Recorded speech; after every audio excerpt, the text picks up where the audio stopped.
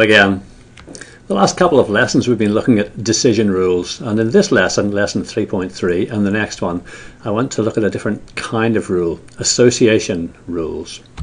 Association rules are about finding associations between attributes. Between any attributes, there's no particular class attribute. Rules can predict any attribute or indeed any combination of attributes. And for this we need a different kind of algorithm. The one that we used in Weka, the most uh, popular association rule algorithm is called Apriori. Uh, so I don't know if you remember the weather data from data mining with Weka. Here's this little data set with 14 instances and a few attributes. Well, here are some association rules. If the outlook is overcast, then play as yes. And if you look at that, there are one, two, three, four overcast instances, and it's yes for all of them. That rule is 100% correct. If the temperature is cool, then humidity is normal. That's also 100% correct. If the outlook is sunny and play is no, then humidity is high. We don't have to predict play or indeed any particular attribute. And if you look at that rule number four, the outlook is sunny and play is no, the first two instances satisfy that rule uh, and there are no other instances uh, that satisfy that rule. So it's 100% correct, but it only covers two instances. There are lots of 100% correct rules for the weather data. I think there are 336 rules that are 100% correct. And uh, somehow we need to discriminate against these between these rules. And the way we're going to do this is to look at the support, the number of instances that satisfy a rule. So the confidence is the proportion of instances for which the conclusion holds, and the support is the number of instances that satisfy a rule. Uh, so here uh, I've got the same rules and uh, they all have 100% confidence but they've got different degrees of support, different number of instances. And uh, well, we, are looking for high support, high confidence uh, rules, but we don't really want to specify 100% confidence and look for all of those rules because, like I said, there's hundreds of them, and a lot of them have got very low support. So typically what we do is specify a minimum degree of confidence and seek the rules with the greatest support with that minimum confidence.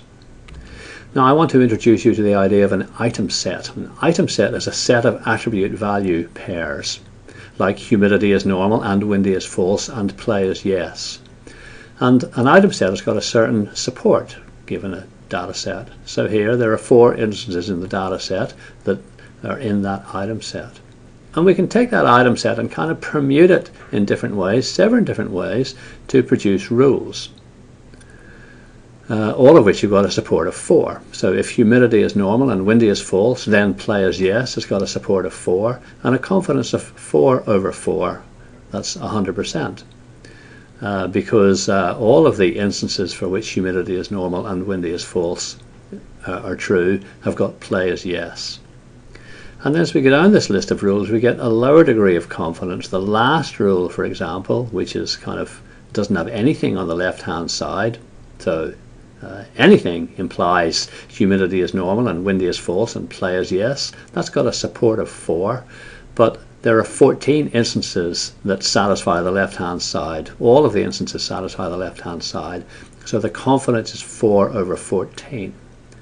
So you can see that as we go down this list of rules, the confidence is decreasing from 100% uh, down to 4 over 6, what's that, 67%, down to quite a low value, 4, 4 fourteenths.